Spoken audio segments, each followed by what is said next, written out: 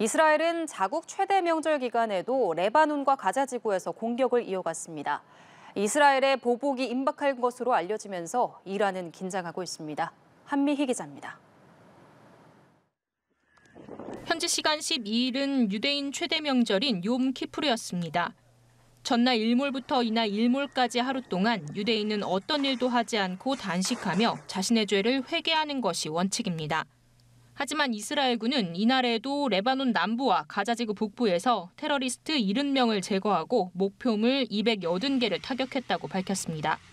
또 아직 공습받은 적이 없는 레바논 북부 마을에도 대피령을 내렸고 이스라엘 북부 국경지대의 군사 통제 구역을 확대했습니다.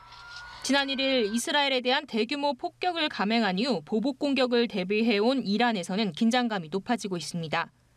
이란은 이스라엘의 보복 시점과 방식에 촉각을 곤두세우면서 인접국들을 상대로 외교전에 총력을 기울이고 있습니다.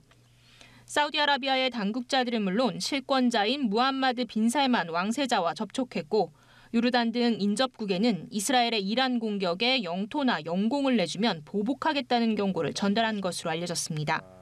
걸프 국가들은 이란의 석유 시설이 공격받을 경우 중동 전체에 악영향을 미칠 수 있다며 미국에 우려를 표했습니다. 미국 역시 이스라엘이 이란의 석유나 핵시설을 겨냥해 공격하는 것을 만류해 왔습니다. 지난 9일 조 바이든 미국 대통령과 베냐민 네타냐후 이스라엘 총리의 통화 이후 양국에서는 이란에 대한 이스라엘의 보복 범위를 두고 두 나라가 합의에 근접했다는 보도가 나왔습니다.